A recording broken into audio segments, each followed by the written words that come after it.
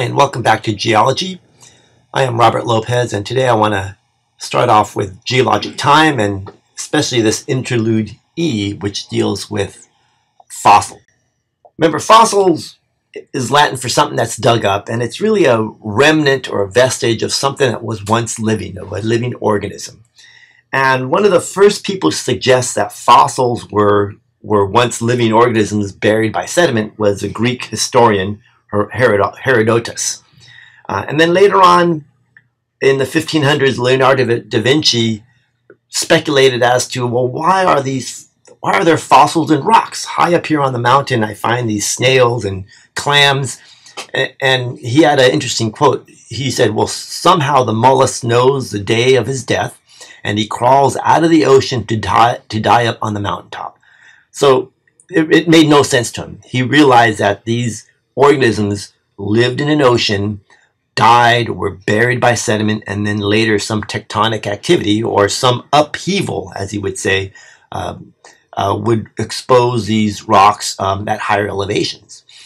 Uh, and another important figure uh, is Nicholas Niccolo Steno here in the 1600s. He uh, proposed several geologic relationships that we still use today to uh, to interpret the geologic past. And in fact, we'll talk more about Steno uh, in chapter 10 here.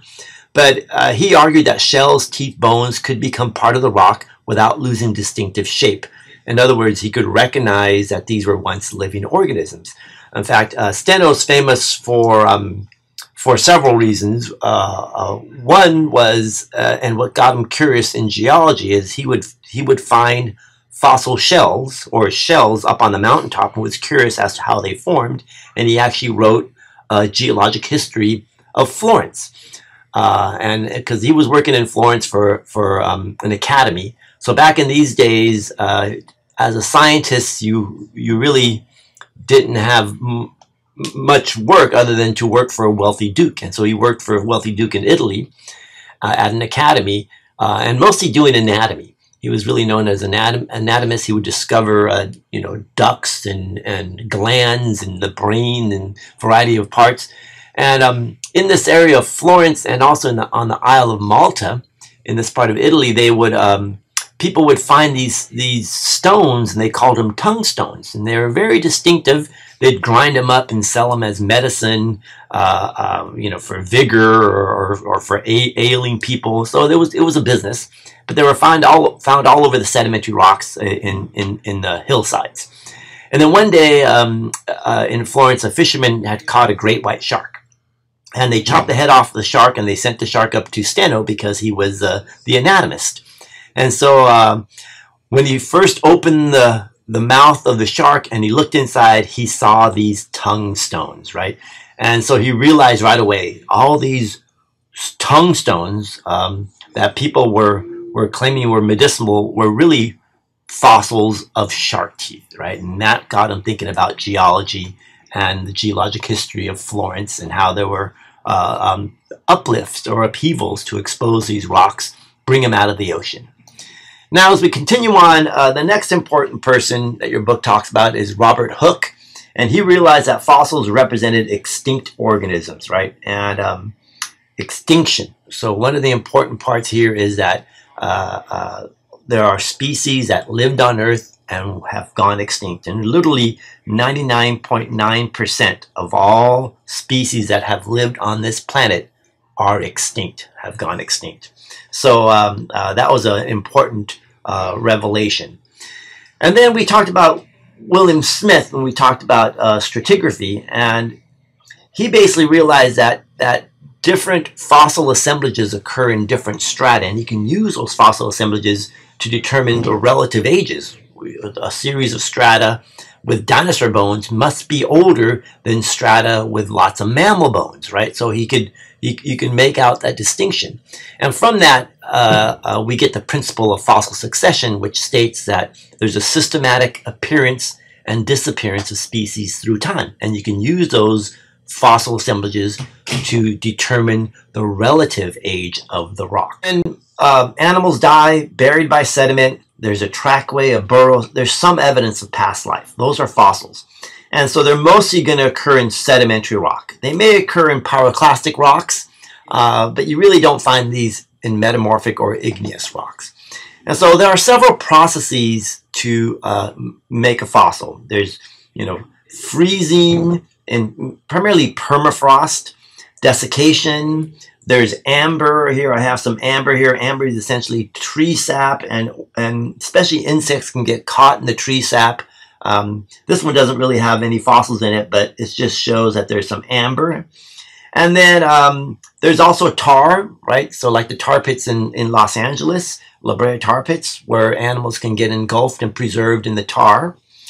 Uh, there's also recrystallization, where the bones, teeth, shells uh, uh, are replaced by other minerals, right? So a good example here is uh, this fossil echinoid, which is a sand dollar. So sand dollars Sand dollars and sea urchins are, are, belong to the phylum called Echinodermata, which means they have a spiny skin. So here's a, a more recent sand dollar, right? And so uh, what happens is the, the, the, the organism is buried, the, the, the, the sh original shell material is dissolved but leaves a cavity, or, or, or new minerals come in here and recrystallize into this. In fact, this is pyrite. This is a pyritized um, recrystallized uh, sand dollar, right? So that's one another way of getting a fossil. And then molds and casts. So the mold, remember, is the original material that's been weathered away. But you leave the hollow cavity, and then new sediment fills that cavity to make the cast. So think about um, uh, in the 79 AD eruption of Mount Vesuvius in, in Pompeii and Herculaneum, where there were all these holes in the volcanic clastic material. Well, people, uh, um, the archaeologists fill those holes with plaster, and so the, the holes would be the molds, but the plaster would be the cast. Then the other process here is carbonization, where organic material is sort of uh, uh, uh dissolved away, and what happens is just a carbon film is left. And a good example are these uh, graptolites. Graptolites are planktonic organisms that are primarily lived in the Ordovician and Silurian periods of the Paleozoic era. So they're really good index fossils. So whenever we find rocks with these graptolites, we know that we were looking at pretty old rocks that are about 400 million years old. These graptolites, but that's a, those are carbon films left, left behind. Permineralization would be where uh, minerals precipitate in the pore spaces. And so a common uh, permineralized fossil would be like fossilized wood, uh, uh, petrified wood, or it can make the mineral called chert. Now, there are trace fossils. Trace fossils are trackways, uh, burrows, footprints, um, and even fossil fossil dung. Here I have some some 40 million year old fossil dung right here left behind by some uh, some animal. It's, a, it's called a coprolite, right? So there's some fossil dung there. And um, I do have an example of a trackway here, uh, trace fossil. So this is a trackway of a, uh, an early dinosaur called Dilophosaurus. So this was left behind in um, in a, um, a muddy uh, muddy shale, maybe along some shoreline in a swampy area or coastline, and then we have the the clear, distinctive footprints left behind by this uh, Dilophosaurus uh, early dinosaur. And there are chemical fossils, which are biomarkers, and these are, are, are, you know, they involve a little bit more laboratory work and more detailed study. But a good example is looking at the carbon isotopes. So remember, uh, uh, iso means the same, the same, and tope here will mean type. So all three of these atoms are carbon atoms. They just vary slightly in their atomic masses. There's carbon 12, 13, and 14, right? When we do geologic uh, time in terms of uh, absolute radiometric dating, we'll learn more about these isotopes. Uh, but one thing we look at is, is uh, the ratio between carbon 13 and carbon 12. And so uh, uh, in science, we call that a fractionation. So some chemical system, or in this case, an organic system, prefers one isotope to the other. For example, plants or algae or, any, or, or anything that does photosynthesis. So PSN is my abbreviation for photosynthesis. So plants, algae, uh, uh, cyanobacteria, that, that, that do photosynthesis, they prefer the carbon 12, right? So that means um, if you find graphite, so graphite is a, um, is a mineral com composed of entirely carbon, right? And so some graphite in the fossil record seems to have a depletion in carbon 13 or low values of carbon 13, which means, which is interpreted by scientists to being that, that um, uh, some organism must have produced that carbon residue, that, that graphite, uh, which, which means it's, it's, it indicates an evidence for life, right? And so we find rocks that are, or at least carbon, carbonized uh, remnants in, in some metamorphic rocks that uh, date from about 3.7 to 4.1 billion years old.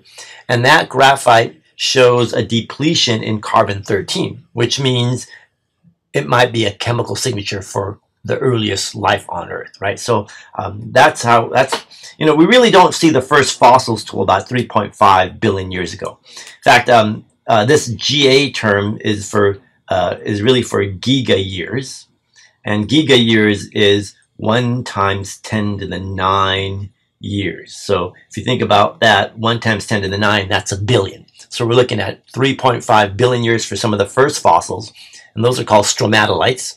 Uh, but we can go back to about 4 billion years for some of the first evidence of chemical life, right, in these, um, in these carbon signatures or biomarkers. Another big field that's really uh, uh, been important, especially for more recent uh, um, calculations in terms of when the last ice age ended, when the climate started getting warmer, and, and, those are the microfossils. They're, they're too small to see with the naked eye, but we're, uh, we use microscopes. And in fact, a really important one is pollen and then uh, a plankton in the ocean, right? So plankton in the ocean and pollen here in terrestrial settings. Um, uh, that's for the microfossils. Uh, remember the macrofossils are going to be the the larger, right? So this plankton and pollen go with the microfossils here, but these are the larger body fossils are the, the, the macrofossils, right? The microfossils will be the plankton, algae, pollen, and even bacteria, right? You know, fossils, it's really hard, very difficult. And the fact that we're finding them is, is, is really quite amazing. And we still haven't found, I mean, there's, there are far more because geologists have not looked everywhere yet. There's some places we haven't even been able to reach. But the fossilization is really the exception rather than the rule because it's difficult to form a fossil. And, and really you need three special circumstances.